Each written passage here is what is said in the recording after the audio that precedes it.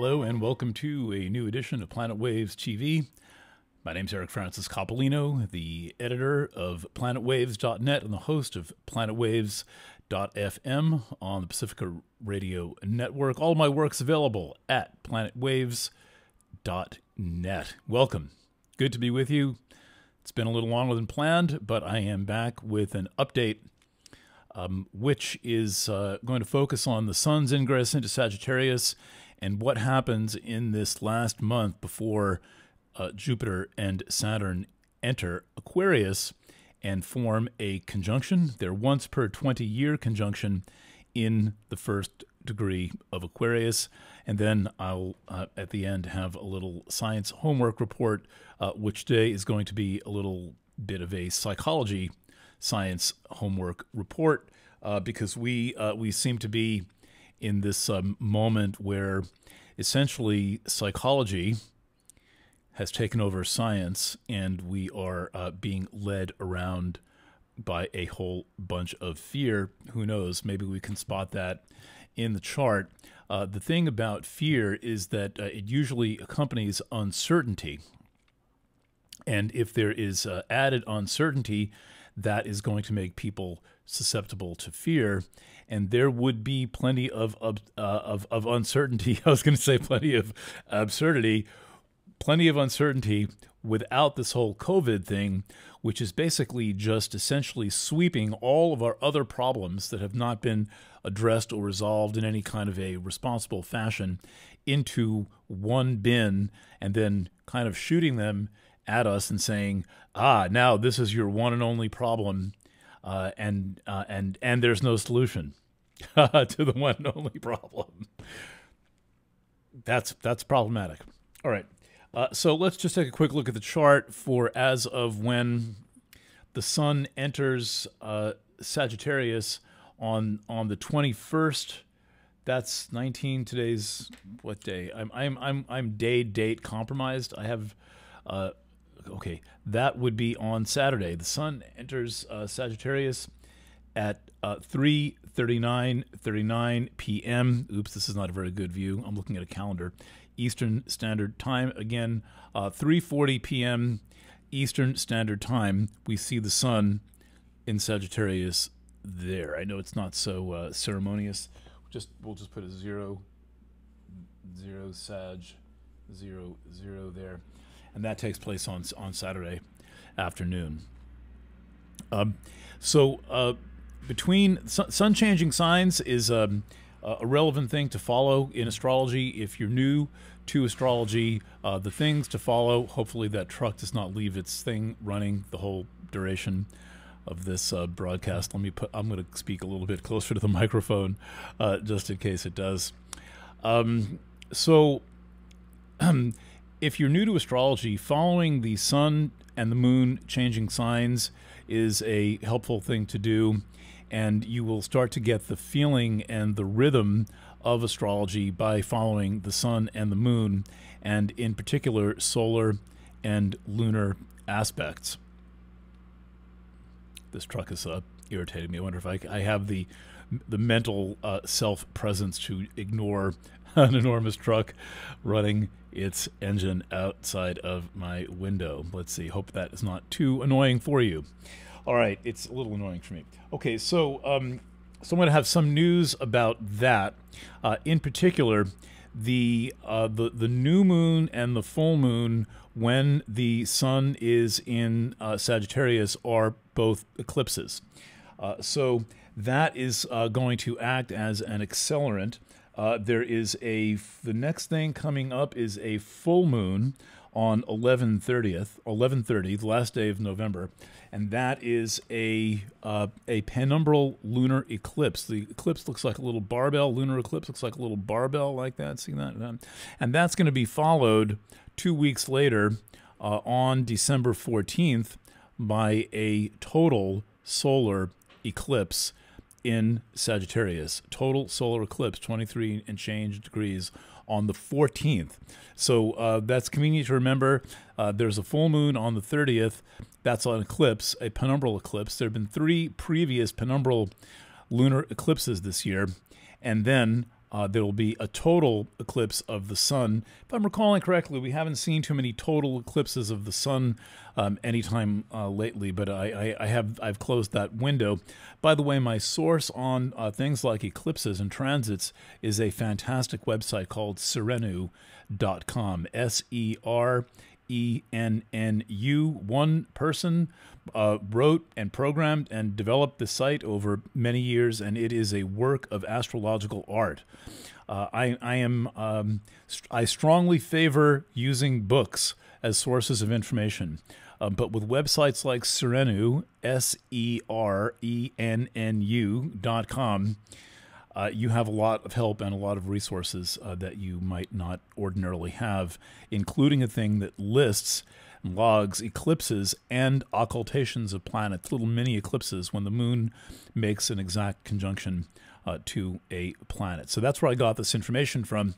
And so once again, uh, penumbral lunar eclipse on the 30th, total solar eclipse on the 14th of December uh, with the sun in the galactic zone. So, one of the things that happens when the sun uh, is in Sagittarius is that it makes conjunctions to two deep space points uh, in, uh, in Sagittarius.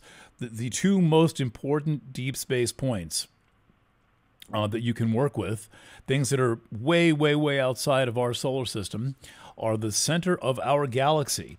Uh, the center of our galaxy is at about 27 degrees of Sagittarius. The center of our local universe is called the Great Attractor. The Great Attractor is at 14 degrees of Sagittarius. So it just so happens that, that the center of our galaxy, uh, a, a collection of somewhere around 30 billion stars in a beautiful spiral, uh, is, is located at the end of Sagittarius.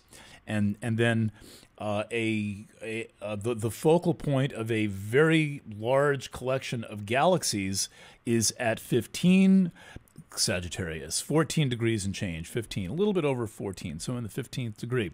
And so if you're wondering what it is about Sagittarians that makes, makes them so unworldly and so difficult to comprehend sometimes and, uh, and, and so strangely energetic and, and just seeming like they're a little bit uh, from uh, from a different planet, that is because there is so much in uh, in Sagittarius that uh, is from far beyond uh, our world, from far beyond any any local concept of uh, of of like you know just bugs crawling around on Earth and pumping water out of the well. Uh, that that's what you get in Sagittarius, and so there is an acceleration uh, associated with that. There's also an acceleration up here in the northern hemisphere because the days uh, keep compressing and, and getting shorter and shorter as we approach the southern solstice, otherwise called the winter solstice in the northern hemisphere, uh, also called the Capricorn solstice, uh, and that's on uh, the 21st of, of December. And this is a major uh, convergence point this year because Jupiter and Saturn align in their once per 20 year alignment in the first degree of Aquarius on the same day that the sun reaches solstice point. So let's let's just take a look at how that looked. Now, this all sounds very fancy. I, I get that. It's a lot of a lot of um, technical mumbo jumbo that I, I normally leave out. But at a certain point, uh, you you uh, you you enjoy astrology more if you start learning some of these things. And I admit it takes a while to learn. There's a long warm up, uh, but we have a lot of resources, free resources, I would add, on Planet Waves that will teach you astrology. And if, when you're reading one of my articles, you follow along with my references to the chart, which I intentionally keep easy, I, I do not go into depth. I, I point out the most salient things going on uh, in my in my twice weekly columns, uh, you will start to follow along. And if you follow the sun and the moon and the lunar cycles and the eclipses for a year, you will have a clue uh, what what is going on. And the upshot is that uh, from the time that the sun enters Sagittarius on Saturday, we have one month before the Jupiter Saturn alignment in Aquarius. This is the last major event of, of 2020. It is the beginning of the Aquarian era that goes through 2044.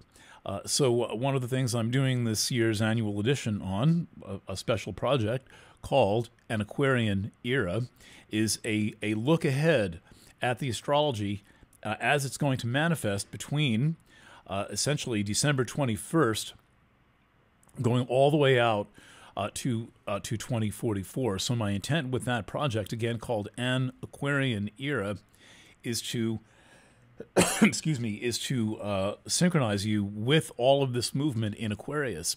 We have not had a lot of activity in Aquarius. Uh, that that has pretty much ended as of around 2012. Uh, when uh, when when Neptune entered Pisces, and so for the past eight years, uh, there has been no activity, outer planet activity in Aquarius, uh, and, pro- and and Neptune in, in Aquarius, again, excuse me, Neptune in Aquarius, again, is not um, easy to discern. It's not. Uh, it's not one of those things you can really work with, uh, and it was it was kind of a thing that uh, a lot of people felt they had to endure. It was, uh, and for some, it felt like a, a kind of a never ending transit that just sort of went on and on and on. Neptune is a very slow moving planet. Um, it moves only slightly faster uh, than Pluto, and for, for much of Pluto's orbit, Pluto moves more quickly than Neptune. That now, uh, as of the 1990s, is uh, is is over. So uh, the the the events are. Uh, next major thing up is the penumbral lunar eclipse on the 30th, followed by the solar eclipse uh, on on the 14th, and then right after the solar eclipse, Jupiter and Saturn change signs right in that very week, and then on the 21st, the Sun enters Capricorn, and then there's the conjunction of uh, of of Jupiter and Saturn. Uh, there is no way to overestimate what uh, what big astrology this is on on on a scale uh, of a century right? This is not the kind of thing uh, that it's like, oh, this is exciting now. This is a, you know, this is um, this is the thing to talk about today. Th- this is the thing that I've been writing about for approximately three years uh, since late late 2018, leading into this moment, and it and it is. Uh, also, the thing that is reflective of all of this new world order shit that is going on where uh, whether you believe in the New World Order and whether you believe the IMF is doing anything, and whether you believe uh, that the Illuminati are behind everything, whatever the hell that means, the the world is being ordered in a new way and we are being shown the results of much previous ordering of the world that has gone on during the past 20 years that has not been made plain, that we have not seen uh, direct evidence of until now. We have not seen uh, direct evidence of the power of pan governmental organizations like the World Health Organization, the International Monetary Fund, the World Bank and the United Nations until now. And suddenly, uh, in the midst of a crisis, of course, in the midst of a crisis, uh, we are seeing the power of these uh, the, these organizations, and so it is things that are larger than governments. Uh, th- this is a problem because things that are larger than governments are claiming to have jurisdiction over our lives. I mean, it's a little like the Hitchhiker's Guide to the Galaxy, where something, some authority bigger than the Earth decides they're just going to put a bypass right through where, you know, a, a, turnaround, you know, for the freeway right right through where our planet is. Oops, they're going to have to just destroy the Earth, right? That's the opening premise of the Hitchhiker's Guide uh, to the Galaxy. That is similar to what is going on. So uh, astrologically, where we're at in in these approximately uh, five weeks until uh, the Jupiter Saturn conjunction, until the solstice, uh, during which time we have two eclipses, which are, are, are going to, uh, um, two eclipses involving the sign Sagittarius, mind you. Uh, are, are going to give this sense of acceleration, this sense of movement, and, and this sense of, of being out, out of control in a sense. You know, I'm I'm often asked whether I think that these um, world management team type of people use astrologers. Uh, I don't think that they do. Actually, uh, they, they may. Right. I have no way to prove or or to, to disprove uh, this. Uh, it is possible that at this time they have uh, they have checked in with some astrology. God knows who's listening to to to, to my uh, you know broadcasts and reading my articles. I've I've appeared essentially in every major national newspaper and numerous magazines over time. So I know from that that anybody can be watching my work. Uh, and and so this is you know when when I you know get a letter from that person you know thanking me for my blog post and I'm like bug eyed looking at the email thinking how is this even possible. So they may not be consulting astrologers, but the, everybody's watching YouTube videos. Every, every, stuff is popping up on everybody's feed, so it is possible that they are aware of the astrology. But is that leading them to make these maneuvers now? I kind of don't think so. I, I, do think that people are sensitive to the incoming and conditioning energies, though. And I think that people are uh, responding intuitively and emotionally, empathically, uh, and, and we're also having a resonance effect uh, from all of us. And uh, this is um, th- th- this is part of what is moving things. I mean, the, the astrology of, of 2020 is uh, without question, the the biggest astrology probably going back, I would say to uh, to the 1960s. That was that was pretty big. 1960s was a, a combination of uh, Chiron, Saturn, Uranus, and Pluto all making a a, a pattern uh, with Neptune in the picture. So you had all the outer planets mixed up into one uh, major aspect pattern that that moved everything along. Um, and we have seen nothing like that since then, talking approximately 1965, uh, 1966. Uh, we're, we're among the biggest years of astrology uh, in, in the 20th uh, century. And so, um, the, the uh, you know it's like it said that a, a, a rising tide lifts all boats. Well, uh, the the astrology as it's happening moves everyone, whether or not they have contact and communication with astrologers. And so th- that's what's happening. And there's uh, there's a synchronicity effect happening, and a lot of things are happening. The difference between knowing about the astrology and not knowing about the astrology is is the difference between having uh, a dashboard lit up in your car driving at night, having headlights, and having a clean wind window windscreen in front of the car, uh, ver- versus not having these um, these uh, additional navigational tools. Uh, I, I am a person who would prefer to drive with a compass than I would with GPS, right? I have, uh, I, you know, after I got my new car a couple of years ago, I changed out my rear view mirror and got one of those rear view mirrors that tells me my approximate compass heading. Th- this is very helpful, and uh, it, and I, I think it's more important to be able to navigate by a compass heading than by uh, GPS. And my astrology presented to you is uh, presented in a similar fashion. I'm not here to uh, help you micromanage. I'm here to tell you the larger trends and then uh, give you some pointers about how you work from the uh, from the general to the specific, which I think is the appropriate uh, direction to work in astrology to understand the big things and then apply them to the small things. And one of the, one, so summing that up, uh, what we have happening right now is a lot of very, very, very large movement.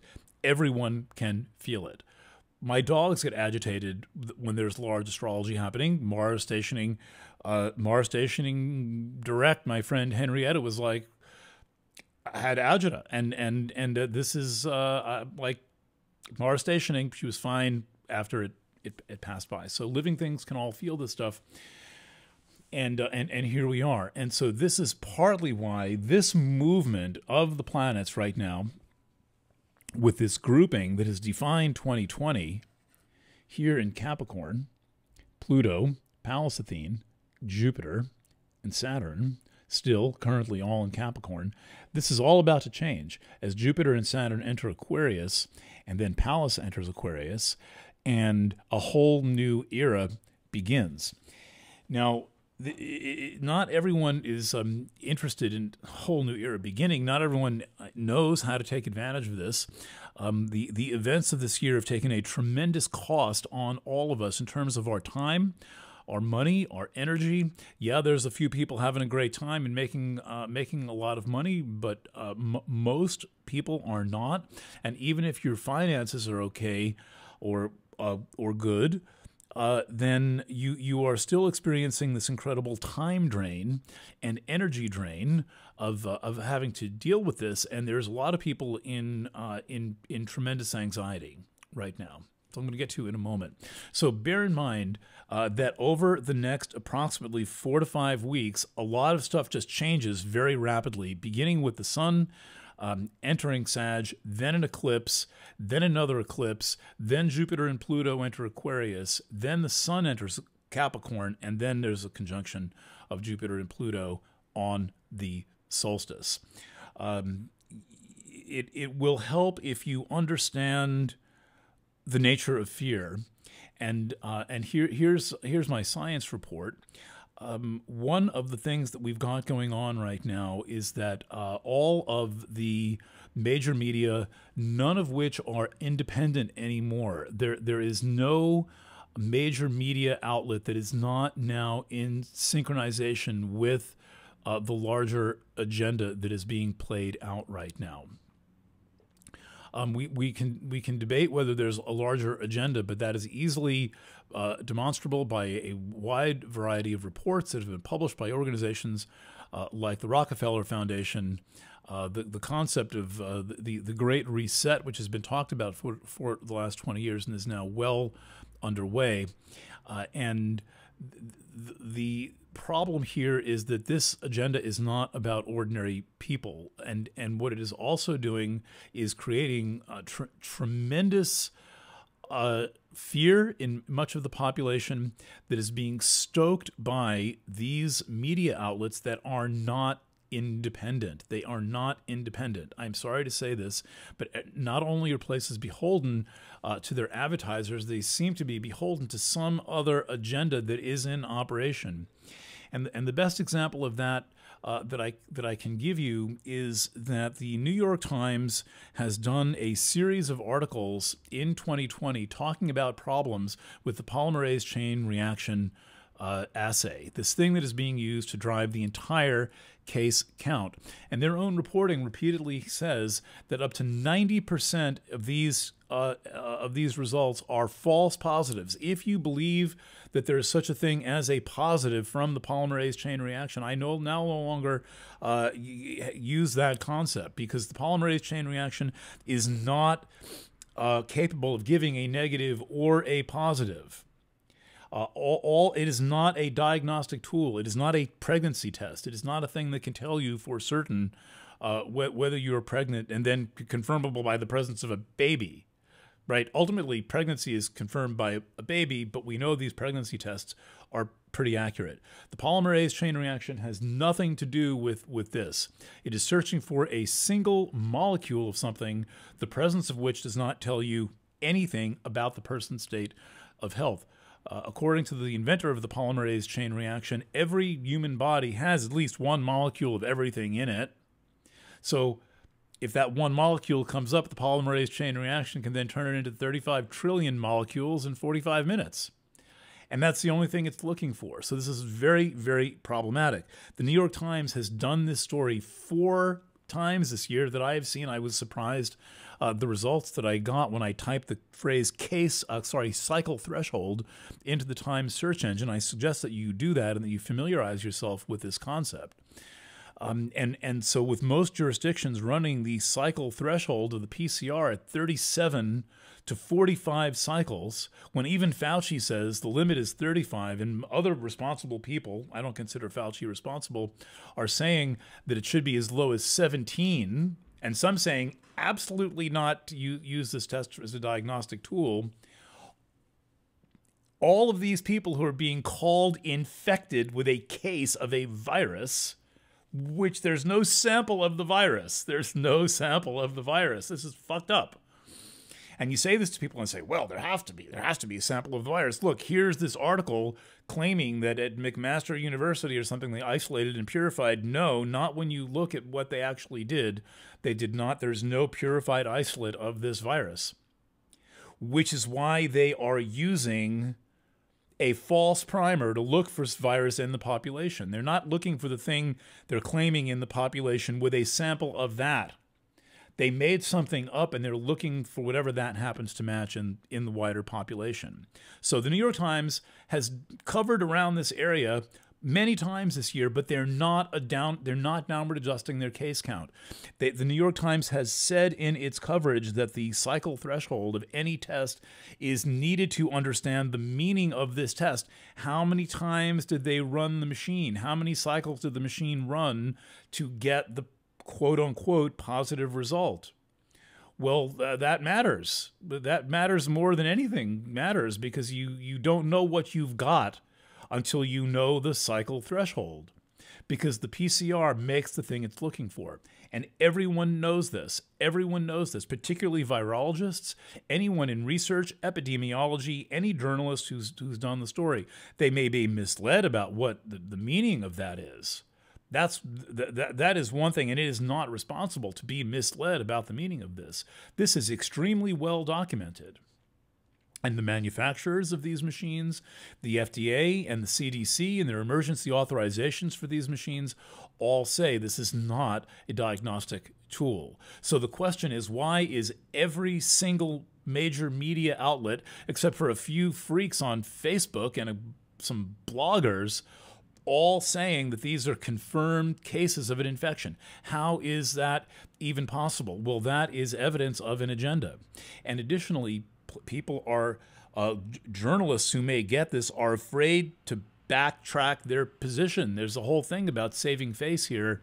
Uh, and like, well, how long did you know that? Let let's say, uh, let let's say, so, someone is successful at calling out the Times and saying, how long did you really know about this problem with the PCR? Well, 2007. We know the Times has known about this at at the latest since uh, 2007. That's the first published article uh, on the problem. It, it, was published all through the 1990s by Celia Farber in Spin magazine, who went to war with the virology establishment and the NIH and CDC over this. Uh, and and uh, demonstrated that this machine is uh, is not a, a, a diagnostic tool. Everyone knows it's not a diagnostic tool. So the question then is why is this fear being pumped up, pumped up, pumped up, pumped up? So, for example, the New York City schools closed down again this week based on the number of positive cases. Well, um, maybe if they would do what Fauci said and lower the cycle threshold to 35, we wouldn't have so many, we certainly wouldn't have this many positive cases. You'd lose most of your positive so called positive cases. Almost all of your positive cases are created by running the cycle threshold at 40 to 45 cycles when the limit is supposed to be 35. Fauci said this in an interview uh, in, in July that all you get are dead nucleotides above 35 cycles. And all you get are dead nucleotides long before 35 cycles, but still. Why then this manic panic? Why this abuse of this technological data? Why why isn't anyone in a larger place saying we, we have to stop talking about the PCR as if it existed in its own universe and talk about what the PCR is being used to do, which is to hype 24 7 nonstop fear. And the people doing the 24 7 hyping of nonstop fear have a lot of skin in the game whether that skin in the game is investment in vaccines, whether it's ratings, whether it's making sure that they're not called crazy nutbag by people, whether it is um, some much more sinister agenda in operation. The, the way society is handling this quote unquote pandemic is not the way that a health issue should be handled. There are many, many things people can be told to do to prevent the spread of this, assuming it's it's it's a, a, real virus. And the only reason I am doubting that it is a real virus is because there are no purified isolates of the virus. You you can't scientifically say something exists until you have it. You can say, well, there must be black swans, but you don't know for sure till you find one. And I, I get this may seem to go over you know the heads of, of of most people. And what doesn't go over the heads of most people is terror. They're afraid. And they're made to be afraid. But i would ask you who are afraid potentially, since when do we handle a health situation by locking all the healthy people in their house or blocking them from going to school? How, how is that uh, handling a health situation? Partic- excuse me, particularly when there are numerous things we can be doing, told to be doing, that would help with whatever it is they say this thing is. Uh, those would include vitamin C, vitamin D, zinc, and melatonin. This is exactly what President Trump was given when he was in Walter Reed being treated by captains and colonels. Yes, they gave him other stuff. They gave him remdesivir, whatever cocktail, but they also put him on this basic regimen of vitamin C, vitamin D, zinc, and, and melatonin. All we're getting from authorities is mask up, lock down, stay apart. Mask up, lock down, stay apart, humiliate, rage, humiliate, threaten, threaten, and humiliate. If, if, if someone is unwell, you, you, you treat that person. If, if you, you think someone might be unwell, you find out if that's true, but you don't berate the person, you, you don't humiliate the person, you don't sequester the person, you don't take numerous elderly people who are sick with other things near the end of their life and lock them away from their family. That's how you kill them quickly.